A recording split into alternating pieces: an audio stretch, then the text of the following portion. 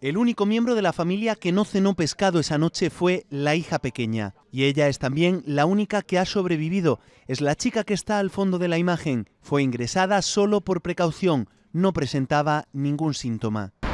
Los resultados preliminares de la autopsia apuntan a una toxinfección, o lo que es lo mismo, una enfermedad transmitida por la ingesta de alimentos contaminados o por sus toxinas. Ahora dos laboratorios de Madrid y Sevilla buscan esa toxina causante de la tragedia. Se levantaban a las 7 de la mañana. Lo que queda descartado, tal y como nos comenta un emocionado sobrino, es que la familia se alimentara de comida recogida de la basura. Acababan de hacer la compra de Navidad. Pero ellos no comían comida de contenedor, eso que quede muy claro. Es que habían hecho la compra de Navidad y que todos los productos que había en casa y lo que habían consumido esta noche eran productos que habían comprado en un establecimiento. La causa de la muerte es uno de los frentes abiertos, el otro si fueron atendidos correctamente. La primera llamada al 061 se produce a las 2.55 de la madrugada. Hasta la casa se desplaza un equipo médico móvil. Atienden por vómitos y náuseas a la niña de 14 años, la única con síntomas en ese momento. Por la mañana se produce la segunda llamada a las 9 y 9.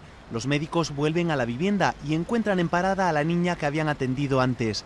Los padres estaban ya muy graves. Los familiares consideran que el tiempo que pasó entre las dos llamadas, 6 horas y 14 minutos, fue clave para que se produjeran los fallecimientos.